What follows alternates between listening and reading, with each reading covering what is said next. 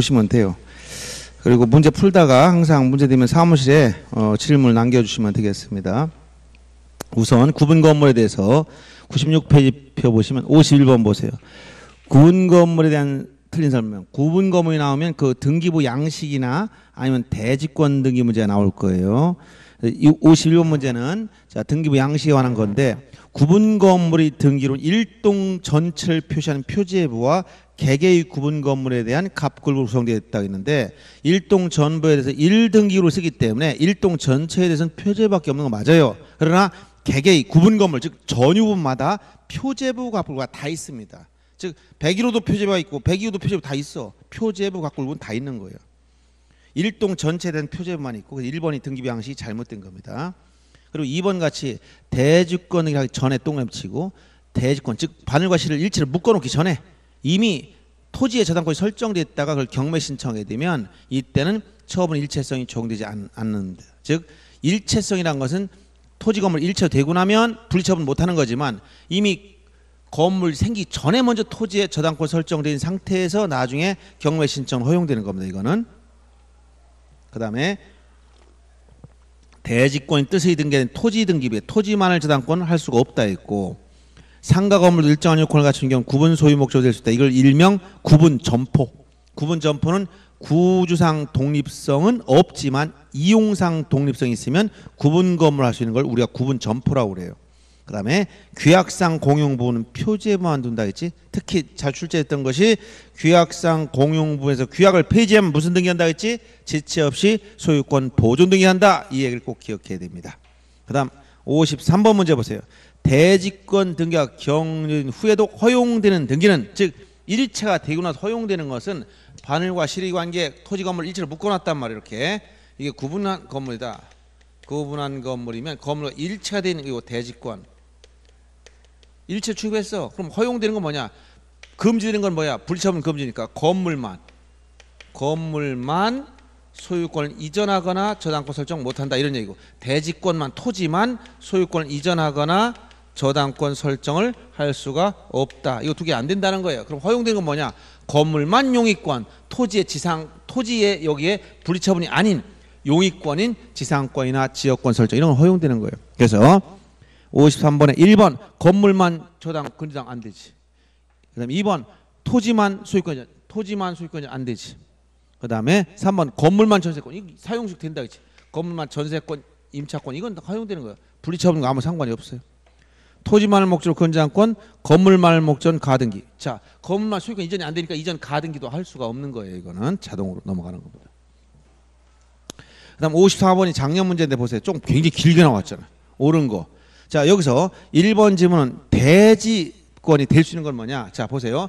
아파트를 지려면 토지에 대한 어떤 권리가 있어야 되냐면 대지 사용권이 있어야 되는데 요 대지 사용권 건물을 지을 수 있는 권리는 뭐냐? 토지 삼원 된다 이게 뭐야? 토지 소유권. 그다음에 토지에 대한 지상권, 토지 전세권, 임차권 이런 권리를 가진 사람은 토지를 사용해서 건물 지을 수 있는 권리가 있어. 그런데 지역권자는 건물 지을 수 있는 권리가 아니라 이건 지역권은 대지권이 될 수 없다는 거예요. 그래서 지역권 대지권이 될 수 없다는 것과 그 다음에 대지권의 뜻, 대지권의 뜻의 등기는 누가 하느냐? 등기관이 직권으로 한 거지, 직권으로 하는 거지 촉탁으로 건축물의 소관청 촉탁으로 하는 등기가 아니다. 이두 부분이 잘못된 거예요. 즉 지역권 대지권이 될수 없으며 대지권 뜻의 등기는 직권으로 토지 등기로 해당 구에 등기관이 직권한다는 거예요. 그래서 1번은 두 가지 부분이 틀렸습니다. 촉탁이라는 부분과 지역권이라는 부분이 잘못됐고 2번은 구분 건물로서 대지권 변경이 있으면 이 대지권 등기는 표제부에 하기 때문에 자 등기 구분 건물 소유권 등기 명의는 일동 건물 속하는 다른 구분 건물 소유권 명의자를 대의해서 이 변경을 할 수가 있는 규정이 있습니다. 표제부 등이 대비할 수 있어요. 그 다음에 3번처럼 대지권에 대한 등기 소유인 등기 나가면 뒤에 접수번을 찾으라겠지 순위 번호가 아니라 접수번 이 조문은 자주 나온다 그랬어요. 그다음에 4번 5번은 불처분 금지 내용 즉 구분 건물 대지권 등기 후 건물만 저당권 건물만 저당권 설정할 수 없다 그렇지. 그다음에 5번 토지 소유권이 대지권일 때 즉 땅을 사서 소유권자가 아파트를 지었어 그러면 토지 소유권을 목적으로 한 저당권 이건 토지 대지권 소유권일 때 이거 저당권 설정 못 한다 그렇지. 건물만 저당권 안 되고 토지만 저당권 안 되는 거야 둘 다. 불처분 금지 내용이기 때문에 이런 내용이 계속 반복되는 게 이런 말입니다. 여기까지 보겠습니다. 그다음 각종 등기 절차에서 이건 하필 등기 관련된 문제는 이건 지적에서 합병 제한과 똑같아요. 자, 문제 101페이지 1번 보세요. 하필 등기 설명 옳지 않은 거. 하필 등기는 지적에서는 합병 제한 문제를 알아두라겠지. 그건 부동산 일부 문제가 연결된 거 이게. 여기서는 하필 제한. 지적에서는 지- 두 필지 이상의 토지를 한 필지로 합치는 걸 뭐라 했다? 토지 합병. 자, A 소유 토지 두 필지 합쳤습니다. 그럼 이거 뭐 A 소유 한 필지가 지번 선순위 면적 합산 처리해서 이렇게 만들면 이게 합병하는 건데 두 필지 이상의 토지 한 필지 합친다. 토지 합병. 합병할 수 없는 걸 뭐라고? 합병 제한. 합병할 수 없는 사유 뭐라고 했어? 제한 사유는 일필지 요건을 갖추지 못했거나 여섯 가지 지, 지, 지, 축소 등. 그다음에 여기 또 뭐가 있어? 권리 관계 되는 거 안 되는 거 되는 게 뭐라고? 임창용이라 했지? 임차권, 창설적 공동장, 용익물권 이게 뭐야? 지상권, 승역지 지역권, 전세권. 요걸 뺀 요런 권리 이외의 등기가 있으면 합병할 수 없다. 이게 똑같이 등기하면 똑같이 나오는 거 등기에 똑같다. 37조에. 그래서 자, 1번 하필 등기에 대한 설명 옳지 않은 걸 찾아라. 하필 등기할 땐 대장 등본을 첨부해야 된다. 왜 표지앱 사기 때문에 지상권 설정 토지는 하필 등기 할 수 있다. 임창용 용익물권이니까. 전세권 설정 하필 등기 할 수 있다. 용익물권이니까. 저당권은 하필 등기 할 수 있다. 틀렸지. 임창용이 아니잖아. 그다음에 5번 하필 등 하필 있을 때 토지 하필 있을 때 소유권 등기면 1개월이나 하필 신청해야 된다. 왜? 표지앱에 사는 등기이기 때문에 의무가 있어요. 다만 우위반에도 과태료는 없다 했지. 그래서 1번은 이런 내용이고 요게 똑같은 게 여러분 나온 게 어디냐면 거기 에, 뭐 4번 문제라든가 이런 게 다 여기 관련된 겁니다. 그래서 나머지 그냥 읽어 보시고 4번 문제 보세요. 갑이 자신이 토, 소유인 A 토지와 B 토지를 합병해서 합필링 이게 이제 명칭이 이렇게 바뀐 거예요. 여기서 이- 예를 들어서 이걸 이거 등기라고 치고 똑같은 원리니까 이거 갑이 A 토지와 B 토지 이거 뭐야? 이거 전부 다 갑이라는 사람은 소유자예요. 이 갑소유 토지다. 갑소유. 이건 이제 10번 A 토지 B 토지 이렇게 말한 거야. 소유자가 A, B라는 말이 아니고. 자, 하필 등기를 할 수 없는 사유. 그 없는 사유는 뭐야? 임창용 이외 차지. 임차권 창설적 공동저당 용익물권이 아닌 걸 찾으면 정답. 그러니까 임창용 아닌 게 뭐야? 1번이지. 가압류. 여긴 가압류가 없잖아. 그러니까 여기 들어가니까 알 수 없다는 얘기야. 알았어요? 그래서 1번이 정답. 2번은 창설 이건 전세권. 3번은 저당권인데 이게 뭐야? 창설적 공동저당 이거야. 등기 원인 목적 접수 똑같은 거. 창설적 공동저당. 4번은 뭐야? 지상권. 5번은 전세권. 전부 다 용익권이잖아. 용익권. 임창용 여기 들어갔으니까 되고 어, 이거 없으니까 안 되고. 이뭐 너무 간단한 거 보면 임창용 아닌 것만 딱 답을 골라내면 정답입니다. 그다음 변경 등기 중에서 6번 하나 보세요. 6번. 전형적인 문제니까 변경 등기는 어디서 하냐에 따라서 표지에 부에서 하느냐 갑구나 을구에서 하느냐. 자 등기부에서 변경이란 게 뭐지? 등기와 실체한 일부 불일치입니다. 그러면 등기 기록은 어떻게? 표제부 갑구 을구로 이루어졌잖아. 표제는 뭐가 들어간다? 부동산 표시. 갑구 을구는 갑구는 소유권의 관상 을구는 소유권 이외의 권리. 자 이건 권리에 관한 부분이라는 거예요. 그러면 변경은 등기와 실체형의 일부 불일치할 때 후발적 사유로 일부 불일치할 일을 시정형 등기를 변경 등기라고 했으니까 표지에서 하는 등 변경도 있고 갑구나 얼굴 사는 것도 있어요. 여기가 뭐야? 표지에서 하는 것이 부동산 변경도 있고 또 어떤 거 아까엔 대지권 변경 등기 이거 전부 다 어디 표제부에서 갑권 얼굴은 뭐야? 여기서 권리 변경 그럼 또 뭐가 있어? 등기 명인 표시 변경 주소 변경 이름 개명 같은 거 이런 것도 여기 있잖아요. 이렇게 나온단 말이에요. 그래서 자, 거- 이 표제부의 변경이 특징이 뭐냐? 표제부는 부동산 표시니까 여긴 특징이 뭐라고 했어요? 상대방이 없어 단독 신청. 공동은 권리 변동부터 공동이 나오지. 공동이 없잖아. 건물 증축했다. 누구가 공동을 할 거야? 권리 변동이 안 생기는데. 여긴 전세금을 증감시켰다. 그럼 이거 상대방이 존재해. 주소 변경 상대방이 없어. 당연히 나오는 거지. 단독 신청. 그다음에 사실관계 대장이 기준이 있기 때문에 대장 등록을 먼저 하는 거예요. 선행하고 대장 등본을 첨부해서 등기 신청해라. 그 다음에 신청 의무가 있어요. 여기 신청 의무 표제부는 1개월 이내. 위반도 과태료는 없다 했지. 그 다음에 항상 주등기야. 표제부 상승 이런 공통점이 있어요. 표제부는. 그래서 1번 건물 구조가 변경했을 때 변경 등이 하자. 먼저 구조 변경 표제부니까 부동산 표시 대장을 받고 대장 등본을 첨부해야 된다는 거예요. 맞는 얘기죠? 2번 행정구역 명칭이 바뀌었다. 행정구역 명칭이 변경했으면 당연히 변경된 거로 봅니다. 그 등기관 직권으로 그걸 변경해 버립니다. 공시 명확을 기하기 위해서 직권해 준다는 얘기예요. 건물 면적이 변경됐을 때 표제 보니까 다 주등기로 해야 돼요. 표제 무조건 주등기입니다. 부등기 자체가 없어요. 그 다음에 등기면 표시 변경, 명의자 주소 변경, 이름 개명, 상대방이 없지 단독 신청. 그 다음에 신청 의무 없어. 신청 의무 없고 그 다음에 이건 항상 부기등기로 항상 부기등기로밖에 안 해. 이런 특징들. 공동 신청일 수가 없어. 그 다음에 건물 구주가 변경돼 변경돼 할 때 종전 변경 전상은 다 지워버리죠. 말소합니다. 그럼 7번은 저 용어만 바꿔놓으세요. 직권 정정의 경정, 직권 경정. 요, 요, 직권 경정 등기라 경정. 등기관이 잘못했단 말이야. 정정이나 경정으로 바꿔주시고 자 4번처럼 사전 허가가 아니라 사후 통지사항이라는 거. 이거는 뭐 크게 설명할 건 없, 지만 문제가 오타 경정 등기 이렇게 경정을 바꿔 주면 됩니다. 8번 문제 보세요. 경정 등기. 옳은 거. 이게 좀 이런 유형 문제가 어려운 문제 나오는 겁니다. 소유권이 이전된 후에도 종정 소유권에 대한 등기명 표시 경정. 경전 원시적 착오나 유루 원시적 불일치 문제라겠지? 그러면 과거에 10년 전에 부동산을 팔아먹었는데 지금에 와서 10년 전 소유자가 어, 옛날에 착오로 주소가 잘못됐었네. 이거 고쳐주세요. 실익이 있어 없어? 없어 이미 넘어간 상태에서 소유 그래서 과거 종전 소유권에 대한 등기명 표시 경정은 실익이 없다는 거 이런 거 할 필요 없어요 이전되고 나면 의미가 없어져 그 다음에 2번 부동산 표시에 관한 경정 등기에는 이해관계에 있는 제3자 생락 유무가 문제될 여지가 없다 부동산 표시는 어디 한다고 표제부에서 표제부 권리와 무관해 이해관계는 없음 알았어요?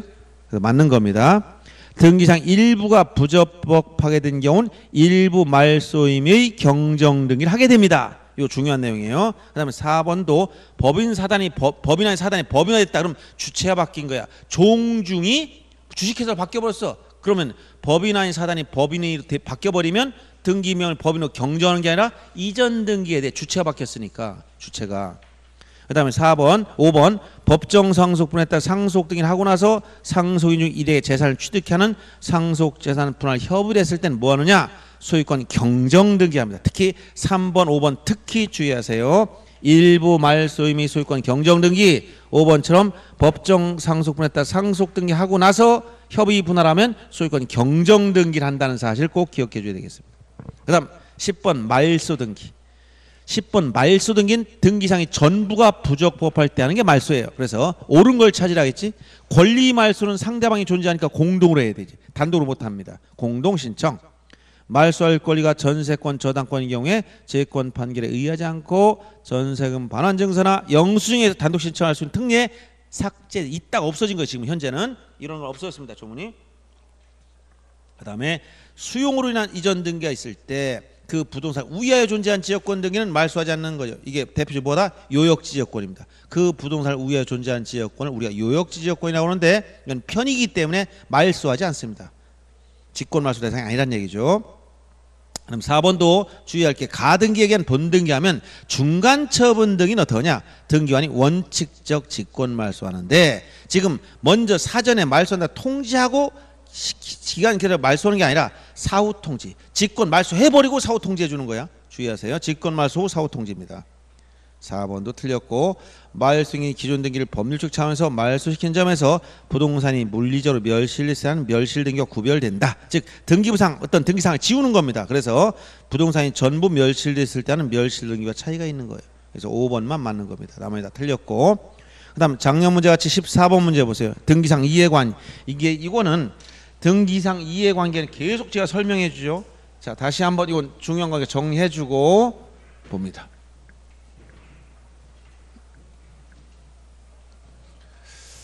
자 작년 두 문제 나온 게 등기상 이해관계 계속 설명합니다. 등기법상 등기상 이해관계인이란 누구를 말한다 했지 이해관계인은 요건 세 가지 등기부에 기재 기록이 되어 있어야 된다. 양립 가능성이 있어야 된다. 당해 등기를 함으로써 손해를 볼 우려가 있다. 이 세 가지 걸 갖춰야 돼. 기재가 되어 있지 않다. 양립 가능성이 없다. 이익을 본다. 이런 사람은 이용이 될 수가 없는 자. 알았어요? 쉬운 문제 여기서 나와 손해 이익이고 어려운 문제 여기서 나와 양립 가능성이 없다. 양립 가능성이 있어야 된다는 것은 동시에 존재할 수 있어야 돼. 소유권 상호간은 양립 가능성이 없어요. 전세권도 두 개 동시에 있을 수 없단 말이야. 그러면 양립 가능성이 없다는 거예요. 그런다. 그런데 저당권과 전세권, 저당권과 지상권 이런 건 동시에 존재할 수 있단 말이에요. 그래서 이런 요건을 갖췄을 때 이해관계 되는 거야. 그럼 이해관계 요건을 충족했다면 이 사람의 승낙서가 문제되는 등기가 언제냐? 요 네 가지 기억하라 했지. 어라고 서 첫째, 권리 변경 등기, 권리에 대한 변경 등기, 권리에 대한 경정 등기. 자, 권리 변경 경정에서는 어떻게 만들었어요? 승낙서가 있느냐 없느냐에 따라서 있으면 뭐라 했지? 부기 등기, 없으면 주 등기. 그다음에 권리에 대한 말소 등기나 부적법 말소 등기를 회복할 때 이땐 승낙서가 있느냐 없느냐에 따라서 있으면 무슨 등기 등기를 수리하고 없으면 각하합니다. 그래서 여기서 권리 변경 경정에서는 승낙 있든 없든 등기 돼. 뭐냐? 부기 등기냐 주 등기냐 요거 차이밖에 없어. 이때는 기존 사항을 지우지 지원이 아니라 이 차이도 있지만 자 권리 변경 경정은 승낙이 있든 없든 된단 말이에요. 그러나 말수나 말수복 등기는 승낙이 있으면 수리하고 없으면 각하되니까 있어야만 되는 거예요. 그리고 이 말수등기와 같이 볼 수 있는 게 뭐냐? 규약상 공용 부분. 규약상 공용 부분은 표제부만 만들어 놔요. 그래서 기존에 전유 부분을 규약상 공유 바꾸려면 갑금을 다 말소해야 돼. 말소 절차가 따라온다. 말소 절차 따라하기 때문에 이때 이해용의 승낙서 있어야 돼. 그런데 여기 없는 게 멸실 등기. 멸실 등기 법률 규정에 따라 부동산이 전부 소멸한 거예요. 그래서 멸실 등기는 이해공의 승낙서 아무 관련이 없어. 그래서 이해공의 승낙서 문제 두 가지 주의할 것. 자, 이행 요건 알아둬야 되고 이거 요건 갖지 못하면 이해공이 없는 거예요. 있을 때 승낙이 문제되는 건 두 가지 크게 권리 변경 경정 말소 말소 회복인데 권리 변경이나 경정에서는 승낙이 있든 없든 된다. 그러니까 승낙이 있어야만 된다면 안 돼. 없어도 돼. 주등기로 하기 때문에. 근데 여기선 말수나 말소 회복 등인 승낙 있어야만 됩니다. 없으면 안 돼. 자, 이런 내용을 토대로 자, 14번 보세요. 말승기할 때 승낙서를 첨부해야 하는 등기상 이해광일 제3자 해당하는 걸 모두 찾아봐라. 지상권 설정기 말소할 때 지상권 목적으로 저당권자 지상권을 말소하면 그걸 지상권을 담보로 잡았던 저당권자는 저당권이 없어져 버려요. 왜? 저당의 목적이 된 권리가 사라지잖아. 그러니까 손해 본다. 손해. 손해. 이해용인 해당되죠. 그런데 2번 순위 2번 저당권 말소할 때 순위 1번 저당권자 후순위권자는 죽든 말든 선순위권자 아무 영향이 없어. 손해 본 사람이 없지. 그 다음에 순위 1번 저당권 등기 말소할 때 후순위 2번 저당권자 선순위가 말소하면 후순위권자 순위가 승진되니까 이익을 봐 이익. 이용이 없는 거 이런 거요. 이익을 보는 사람. 토지에 대한 저당권 등기 말소할 때 토지는 지상권자, 저당권과 지상권 별개입니다. 이것은 니은디 것을 어떻게 생각하더라도 이해가 될 수 없어. 즉 선순위 저당권자였다면 지상권자는 이익을 보는 것이며 자 지상권자 선순위할 때는 아무 영향이 없는 사람이라는 거야. 그래서 이해왕이 아니라는 것이고 비음번 보조 등기 말소할 때 가압류권자 자 가압류권자는 채권자는 뭐야? 소유권은 가압류 있었는데 소유권이 말소되면 가압류 목적 권리가 사라지잖아. 손해 보는 겁니다. 그러니까 이해관계이 된다. 이해관계 된 건 여기 손해. 이거 기본적인 문제가 물어봤어. 손해되는 거 지금 기업과 미음 두 가지만 손해되는 거예요. 자, 그 다음에 16번 문제 하나 더 봅시다. 말소등기 틀린 거 말소 되는 등기 종련 제한이 없으며 말소 등기 말소 말소 등기는 말소 할 수가 없어요. 말소 회복 등기로 해야 됩니다. 주의해야 됩니다. 그래서 1번이 틀린 거예요. 그 다음에 2번처럼 전부가 부적법 이 전부만 원인 묻지 않습니다. 3번처럼 농지 목적 전세권은 아까 민법에서 금지하고 있다 했지? 그러니까 29조 제2호 위반이니까 직권 말소해 버립니다. 그다음 피담보 채무의 소멸 이유로 근저당권을 말소할 때 채무자를 추가한 근저당 변경이 부기 즉 주등기를 말소하면 부기 등인 직권 말소된다 이 얘기예요. 5번처럼 말소 등기 신청의 경우에 등기상 이해광인 제3자는 뭐냐? 말소에 손해를 입을 염려가 있다는 것이 등기 기록에 형식적으로 인정되는 자. 자, 등기부에 나와 있어야 돼. 양립 가능성이 있어야 돼. 손해를 봐야 돼. 이게 바로 이해광이 똑같단 말이에요. 이건 말소할 때다 똑같아. 다 똑같아. 그 다음에 넘어가서 25문제 하나 보겠습니다. 회복 등기에 관한서 틀린 걸 찾으라 해서 회복 등기 말소 회복 등기 문제입니다. 당사자가 자발적으로 말소 등기라는 경우에도 말소 회복 등기 할 수 있는 게 아니라 할 수 없다 했지. 자발적으로 말소한 것은 부적법 말소가 아니에요. 그래서 여러분 이해하기 쉽게 제가 수업 시간에 뭐라 했어요? 등기관 괴롭힐 때 어떻게 하면 된다? 하루에 100건 들고 가서 말소해 주세요. 다음날 어 실수했네 회복해 주세요. 매일 괴롭혀. 그런 건 받아주질 않아요. 자발적으로 말소했으면 이건 부적법 말소가 아니라는 거예요. 그러니까 회복등기 신청 못한다는 판례 꼭 기억하라겠어요. 1번 틀린 겁니다. 말소인 등기 회복을 하면서 등기상 이해관계 제3자 승낙상 이해 대항수 재판 등을 첨부하지 않은 채 회복이 이루어진 경우 그 회복 등이 등기상 이해관계는 제3자에 대해서는 효력이 없어요. 즉 여기선 반드시 회복 등기할 때 승낙 있어야만 되기 때문에 만약 없는데 됐다면 그 이해관계에 대해서는 효력이 없다는 거예요. 그 다음에 3번 말소 등기 회복에 있어서 말소인 종전 등기가 등기한 직권 또는 촉탁에서 말소했다면 회복 등기도 똑같이 따라가. 직권 말소가 잘못했으면 직권 회복, 촉탁 등기가 잘못했으면 촉탁 회복 같이 따라간단 말이에요. 말소인 상속 원인으로 하는 소유권 이전 등기 회복하는 경우는 단독 신청이다. 왜? 상속 등기가 단독으로 말소했으니까 단독으로 했으니까 그 회복도 단독으로 한다는 거예요. 같이 따라갑니다. 가등기에 대한 소유권자는 본등기 시 등기한 직권말소한 가등기 이후의 제3자 권리에 관한 등기 이게 바로 중간처분 등기는 직권말소 원칙, 원칙이라고 했죠. 근데 가등기에 대한 본등기를 말소한 경우에 있어서는 등기한 직권을 회복해야 된다. 만약에 본등기가 잘못됐다면 직권말소했던 등기는 어떻게 한다고? 직권회복 같이 따라간다는 거야. 이거 회복 등기는 말소 등기와 똑같이 이게 말소 등기와 단독 신청을 말소해서 회복도 단독 신청. 말소 등기 직권에 대해서 직권을 회복. 촉탁으로 말소했어 잘못했으면 촉탁으로 회복. 이것은 회복 절차는 말소와 똑같이 따라간다. 이 얘기를 해주는 거예요 계속. 다음 넘어가서. 22번 문제는 거기 약간 문제 잘못됐으니까 이 문제만 이해하면 됩니다. 20번 등기상 이해광이 제3자의 승낙서나 이해 대항 재판 등을 첨부하지 않고도 신청할 수 있는 등기는 이건 이 문제가 좀 차고가 있으니까 주의하세요. 이해를 잘해야 돼요. 승 이해광이 승낙 관계 없는 등기 있으면 맞아. 왜? 멸실 등기 승낙서 관계 없다. 그러나 지금 신청하지 않고도 할 수 있는 등기는 자 여기서 권리 변경 경정은 않고도 할 수 있어. 뭐만 달라? 부기 등기가 주는 이것밖에 없기 때문에 알았어요? 차이가 있지. 그래서 114페이지 22번 문제는 이 이해왕 승낙과 관계 없는 등기는 이렇게 문제를 바꿔야 멸실등기라는 말이 맞고 또 1번도 부기에 의한 권리 변동 등기라고 하지 말고 권리 변경 등기 그 다음에 4번 권리 경정 등기 권리 말소 등기 말소 회복 등기 이건 맞지만 부동산 멸실 등이 이해왕 승낙서와 무관하다는 거예요. 그래서 요 표현만 이해하면서 읽어두시면 됩니다. 그래서 요 제가 얘기한 요 내용을 잘 소화하면 되겠습니다. 이렇게 멸실 등기는 이하고 승낙서 아무 관련이 없다. 관리 있는 등기는 네 가지 등기다. 권리 변경 경정은 승낙서 있으면 부기 없으면 주등기다. 따라서 승낙 있든 없든 된다.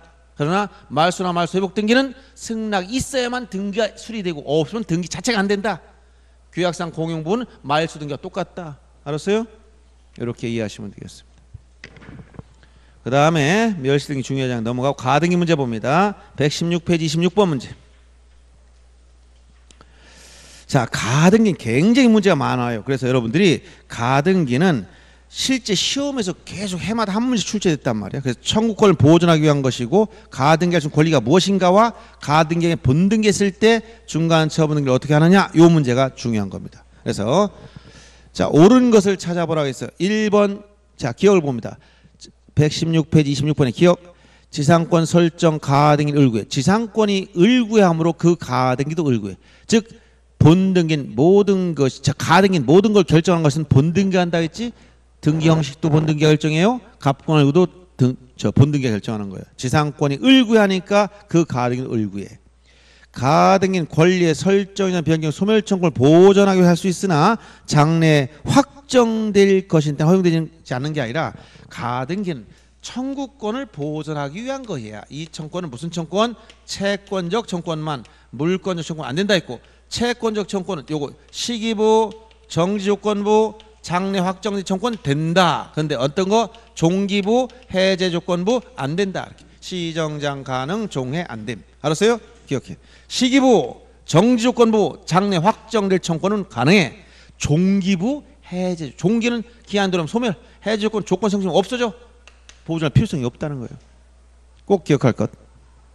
기본적인 조문 내용이에요. 그래서 니은 틀렸고 디귿 번 가등기 후 권자가 사망한 경우 상소는 상속 등을 생략하고 의무자 공도 직접 본 등이 이게 바로 아까 얘기한 보다 포괄 승계 이내에 의한 등기 포괄 승계인 상속인에 의한 등기 그 디귿 리을 똑같아요. 디귿은 권자가 사망한 경우 리을은 의무자 사망. 아까 그럼 디귿은 뭐냐? 매수인 사망한 거. 리을은 뭐- 뭐야? 매도인 사망한 경우 똑같단 말이에요. 이걸 포괄 승계인의 등기다. 이렇게 했죠. 그다음 미음번 가등기상 권리 처분 금지 가처분 등기는 부기 등기에 의한다. 가등기 예, 처분 금지 가처분은 소유권이면 주등기고 소유권 이외의 권리는 부기 등기라고 했지. 가등기는 소유권 이외의 권리 들어가기 때문에 부기 등기로 들어가는 거예요. 물권적 처분 가등기할 수가 없습니다. 여기서 처분 가등 자체가 안 되는 거예요. 그래서 이렇게 한번 문제 보시고 그 다음에 넘어가서 31번 문제 하나 더 보세요. 가등기원 설명 중 옳은 것을 모두 찾아봐라. 저 첫째 기억은 장래 확정될 청권 여기 시정장 된다. 장래 청권이 그 다음에 니은 판례는 보존 가등기 없다 그래서 두 가지 없는 거 보존 가등기 처분 제한 가등기 두 가지는 없습니다. 보존 가등기와 처분 제한 가등기는 없습니다. 틀렸고 디귿번 판례는 가등기에서 어, 순위 보전 대상되는 물권 변동 청구 양도됐으면 그 이전 등기는 부기 등기하면 된다는 걸 판례 맞는 얘기고 리을번 시험에 자주 나와요. 갑이 을소유 토지에 대해서 가등기를 한 후 을이 그 둘평 이렇게 했어. 본등기 청구 상대방 갑이 을소유 토지에 대해서 갑이 가등기를 해놨는데 을이 뭘 평에 처분했다. 그러면 이때 갑이 본등기를 누굴 상대로 청구한다고 해서 가등기 당시 의무자는 을이지 얘는 직권말소니까 그렇죠?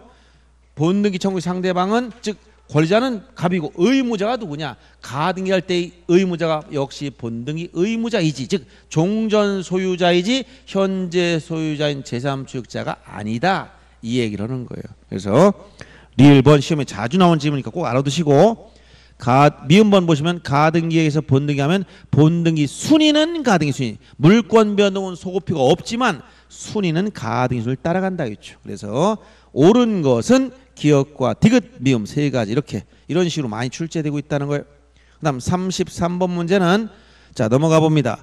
가등기엔 본등기에서 직권 말세잖아. 이거는 아까 당해 전 제위라고 다시 한번 여러분들 즉 중간 처분 등기 앞에서 설명했지 아니면 당해 가등일 목적 가등이 전요두 가지는 말소하지 말라 제외시킨다 라고 했죠. 당해 같은 말이 뭐라 그래서 해당 자체 상 전과 같은 말이 뭐예요? 이것은 대항력이 있다 같은 말이라고 했죠. 이건 말소하지 말라고 했습니다. 그러면 33 문제 푸는 요령 소유권 본등기 했을 때 직권 말소되지 않는 거 당해전을 찾으면 돼. 그러면 여기 있는 게 뭐야? 4번 밖에 안 와. 당해 한 말, 이 말밖에 나오지 않았잖아. 나머지 이런 말이 붙은 거 이런 말이 없어 그럼 중간 처분 등기는 이렇게 가등기에서 요 가등기 본등기 사이에 낀 등기 가압류 가처분 지상권 뭐싹 다 직권 말소. 근데 당해 전 제외 이 얘기예요. 간단하게 당해 전 제외. 이렇게 문제 푸는 요령을 조금 터득하다 보면 자동 답을 찾기가 쉬워진단 말이에요. 그 다음에 넘어가서 38번 문제 하나 더 보겠습니다. 이것도 유사하게 이런 식으로 출제되고 계속 반복되는 질문이야 다. 여러분들 보면은 38번 틀린 거 1번 가등기엔 본등기 신청 가등기 권중 일부 지분에 대해서 할 수 있다. 이게 뭐야? 지분만 본등기 되고 천원명의 본등기 안 된다 했잖아. 아까 뭐야? 보존 등기 상속 등기 가등기에겐 본등기 세 가지 꼭 얘기해 줬잖아. 그 다음 2번 소유권 가등기의 본등기라면 등기하는 가등기 후 본등기 전에 맞춰진 등기. 전부를 전부 동그라미 전부가 뭐라 했지? 전부는 예외 없이란 표현했지. 전부 이퀄 예외 없이 그러면 가등기에 본등기 하면 원칙적으로 직권 말소하지만 당해 전 제외 예외가 있단 말이에요 이렇게. 그래서 여러분들 이렇게 전부라고 표현을 써서 살짝 답을 가려놓은 경우가 있었어 최근에. 주의하시고. 그다음 3번 임차권 가등기에 기한 본등기 마친 경우 등기와는 가등기 본등기 전에 맞춰진 동일한 부분에 대한 용의권은 양립 가능성이 없는 거예요 직권 말소입니다. 즉 임차권과 똑같은 부분 용의권을 설정할 수 없다는 얘기예요. 그 다음에 4번 저당권 가등기에 본등기했을 때 등기와는 중간 처분 등기로서 용의권 저당권과 용의권은 동시 병조 즉 양립이 되니까 후순위가 되는 그래서 직권 말소할 수 없다고 온 거예요. 그 다음에 5번 가등기엔 본등인 공동 신청이 원칙인데 의무자 협력하지 않으면 이행 판결 받아 단독 신청할 수 있다. 이건 당연한 거고 단독 신청 중에 어떤 게 중요한 거예요? 가등기를 가등기를 단독 신청하는 경우 첫째 의무자 가등기 의무자의 승낙서를 첨부해서 권자 단독 두 번째 제일 많이 나온 게 뭐라고 가등기 가처분 명령 가등기 가처분 명령을 받아서 단독 신청한 특별 규정이 두 개 있어요. 특별 규정. 그럼 넘어가서 40번 문제 하나 보겠습니다. 자, 이런 유형들 주의해야 됩니다. 40번 유형. 자, 보세요. 40번 가등기에 관한 설명 중 옳은 걸 찾아라. 기억 1번 가등기를 뭐 명하는 법원의 가처명. 자, 가등기 가처분 명령 밑줄 딱 치고 요거 말 가등기 가처명 이걸 딱 찾아내야 돼. 가등기 가처분 명령 뭐라고? 단독 신청이 촉탁된 게 아니라는 거예요. 뒤에 촉탁이 잘못된 거예요. 단독 신청하는 겁니다.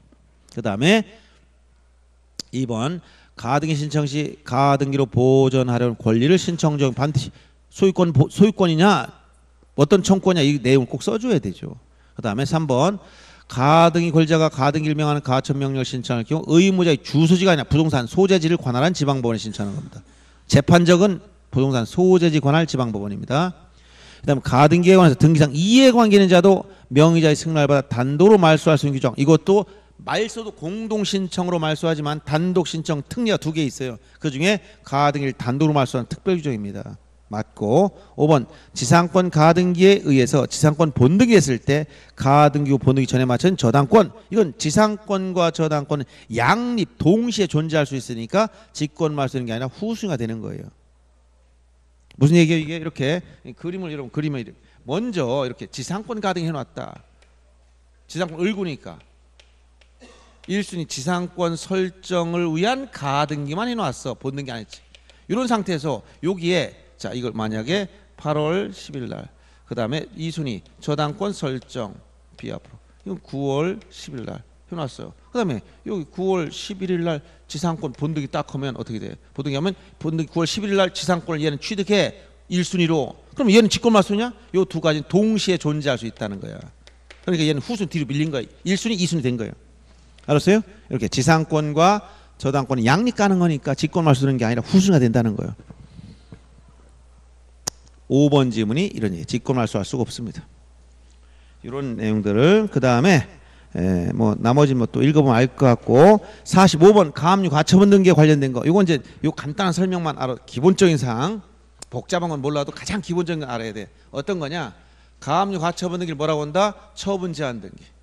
처분 제한 등기가 있어도 처분할 수가 있다는 거예요. 자 가압류 가처분 등기. 이 두 개 나오면 가압류나 가처분 이 가처분이란 건 처분 금지 가처분 말하는 거예요 등기 관련선 처분 금지 가처분 이걸 말하는 거예요. 요 두 등기를 처분 제한 등기라. 소송하기에 앞서서 하는 보전 처분이다. 소송하기에 보전 처분은 소송 전 소송하기 미리 전에 하는 처분이에요. 여기서 처분 제한 등기란 것은 처분 제한 등기에서도 처분은 할 수 있다. 즉 절대 금지가 아니라는 거예요. 가압류 가처분 등기 어떻게 하냐? 촉탁으로 이루어져 법원 촉탁 등기. 그래서 가압류 가처분 신청하면 전부 다 각하됩니다. 촉탁으로 이루어진 등기다.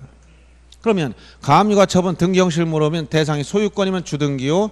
소유권 이외의 권리를 목적으로 뭐라 해서 이건 부등기로 한다. 등기 형식을 얘기했죠. 그럼 가압류는 차이점 뭐냐? 돈 받을 게 있을 때 하는 거야. 이건 돈이 아닐 때 하는 것이고. 돈이라는 건 뭐야? 금전 채권에 의해서. 여기 뭐가 나와? 청구 금액이 나와. 얼마? 청구 금액 얼마냐? 이게 등기부에 나타나. 그런데 가처분, 처분 금지 가처분 돈이 아니니까 여기는 금전 채권이 아니야. 그러니까 뭐야? 피보전 권리. 보전 받고자 하는 권리가 뭐냐? 이런 표현을 써야 된다는 거야. 알았어요?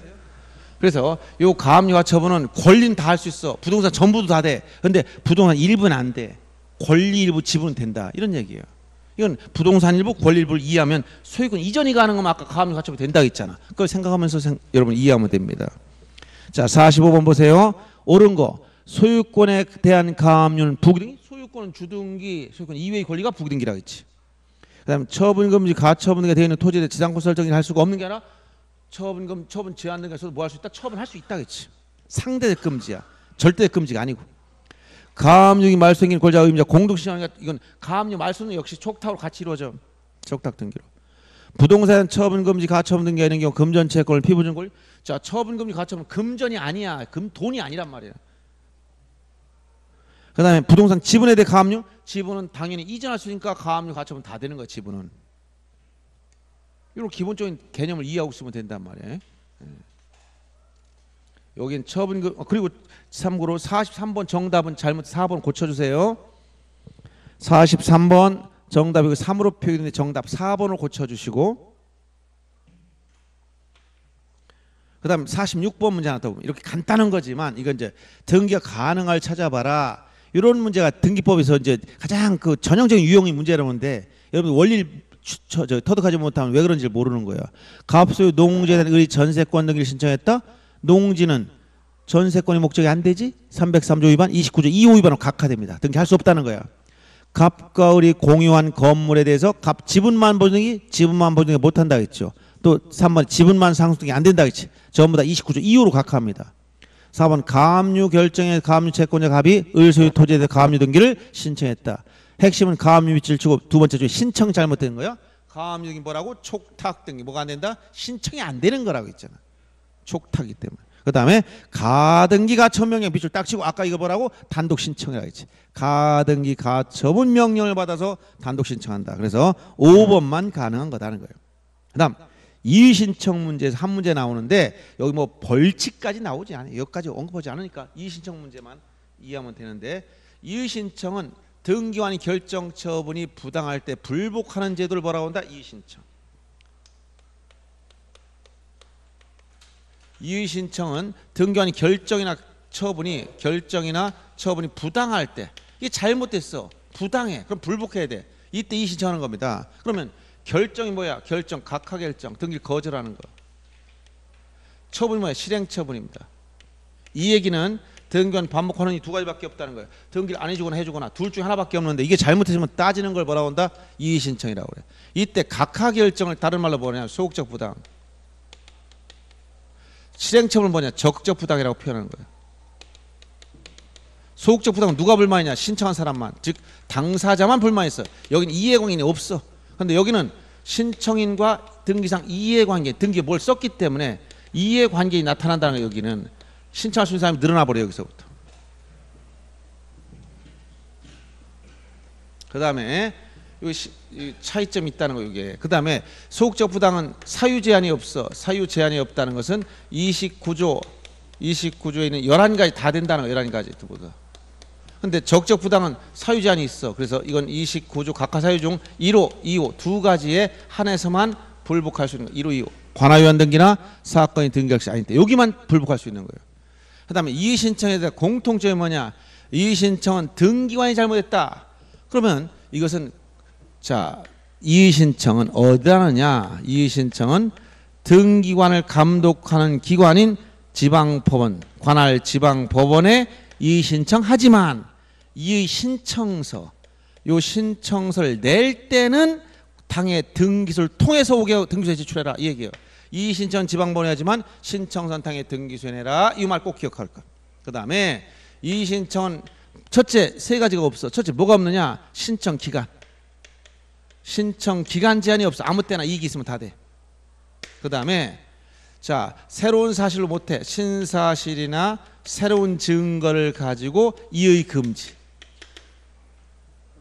등기관이 각하 결정 시행 처분 할 때 나왔던 증거만 가지고 따져야 되는데 새로운 증거를 갖다가 등기관 잘못했다고 따지 말라는 거예요.